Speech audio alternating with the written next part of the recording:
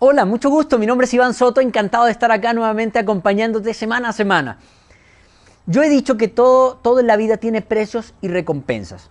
Para cada ah, decisión que tomemos, cada acción que tomemos, incluye obtener cosas, pero también incluye pagar algún precio que no necesariamente tiene que ver con dinero. Pueden ser sacrificios, eh, tiempo, etc. Ahora, ¿para qué uso esto?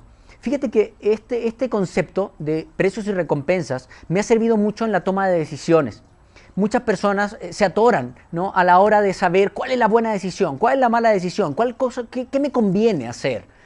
Y, la verdad es que no hay una regla para eso.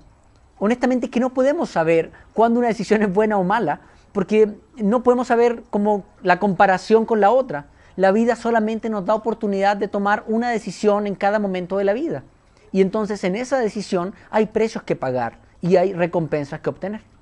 Entonces, creo que una buena conciencia a la hora de tomar una decisión, y con esto es una fórmula práctica de cómo aplicar estos precios y recompensas, es cuando estés ante una decisión, haz una especie de balance, haz una especie de esquema. Si tomo esta decisión, ¿cuáles son las recompensas que voy a obtener? ¿Y cuáles son los precios que voy a pagar? Si tomo esta otra decisión, exactamente lo mismo. ¿Cuáles son los precios y recompensas? Y entonces, aunque no surja una idea clara, por lo menos vas a ser consciente de qué puede ocurrir con ambas y entonces esa conciencia te llevará a tomar una decisión. Por ejemplo, imagínate estás eh, ante una, decisión de seguir o no en una meta en particular. Imagínate estás calificando ¿no? para, el crucero. Y entonces estás por ahí en algunas semanas de avance y eh, las cosas se complican y dices, bueno, ¿qué hago? ¿Continúo o me detengo? Como no sabemos si es bueno o malo tu decisión, sé consciente.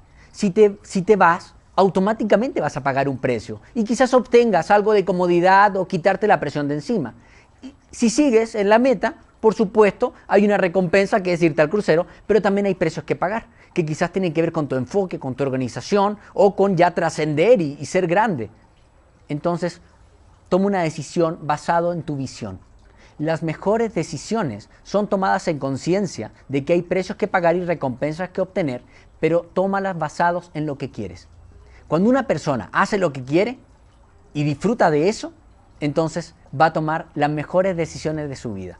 Te mando un gran abrazo, bendiciones para esta semana. Chao, chao.